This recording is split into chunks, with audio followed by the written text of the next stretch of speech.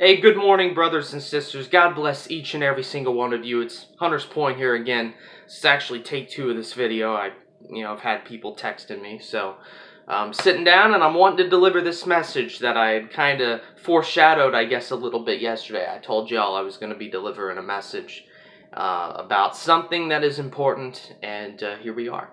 So I wanted to address the times that we're living in, right? I believe we're living in the final moments of the end of days. We are in the last days for sure. And there's signs that point to us being in the last days. I wanted to read a little bit from Matthew chapter 24, and I think I'll go ahead and read verses 5 through 13. For many shall come in my name, saying, I am Christ, and shall deceive many. This is Jesus talking. And ye shall hear of wars and rumors of wars. See that ye be not troubled.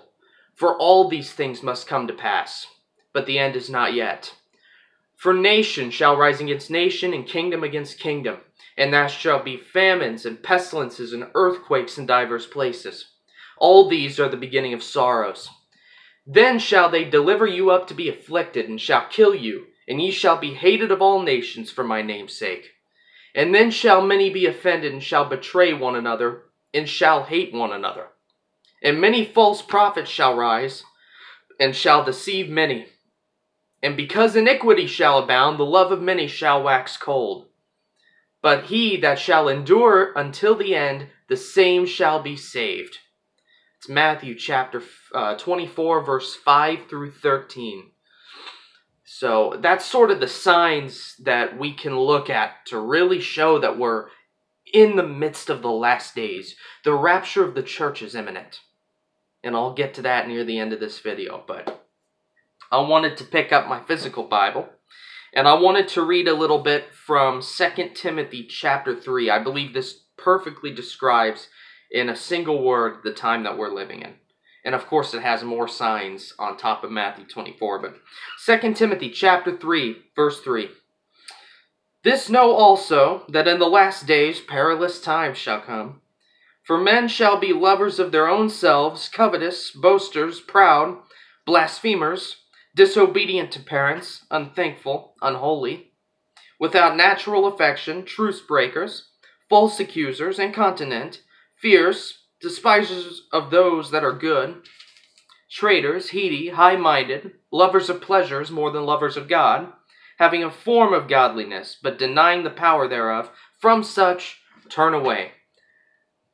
I think the Apostle Paul described it perfectly in his second epistle to, Tim- to Timothy.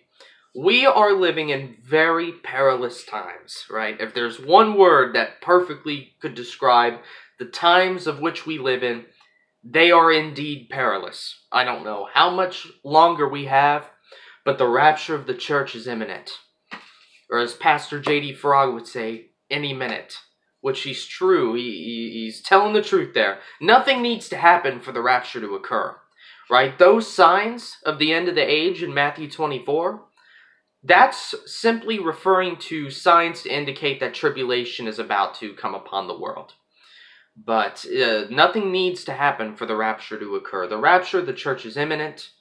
Um, tribulations coming upon the world, the likes of which this world has never seen before and will never see again. I want to implore you. If you do not know the Lord Jesus Christ, if you have not accepted him into your heart, I think now should be the time you do that. Because there's a certain amount of urgency in the air that didn't exist a year ago.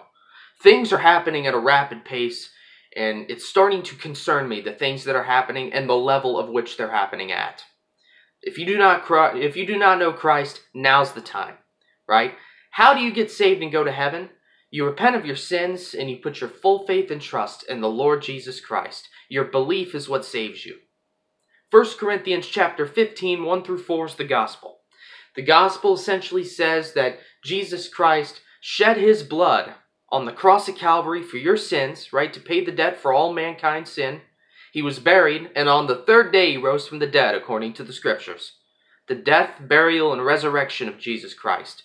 Romans 10 9 and 10 says that if you believe in your heart that God raised Jesus from the dead and confess with your mouth that Jesus is Lord, you will be saved.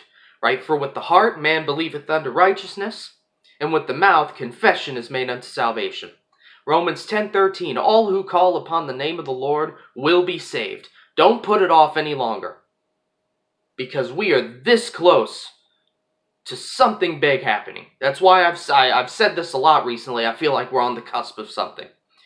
Right? So if you have not accepted Christ into your heart and you haven't been saved yet, please do so now. Because when you die, right, assuming that you don't get raptured, now if you believe on the Son of Man right now, you'll go up in the rapture whenever it happens. But assuming you're ones, you, you know, you're one of the ones that are going to die, there's one of two places you're going, heaven or hell. And I don't want you going to that second place. So I implore you, if you have not believed on the Son of Man, it's time. It's time to do so. Because only you can make that decision. I think I got what I needed to get out, out. Um, I will see you all in the next video, should the Lord tarry. So I hope this message was a blessing to you all. God bless you all.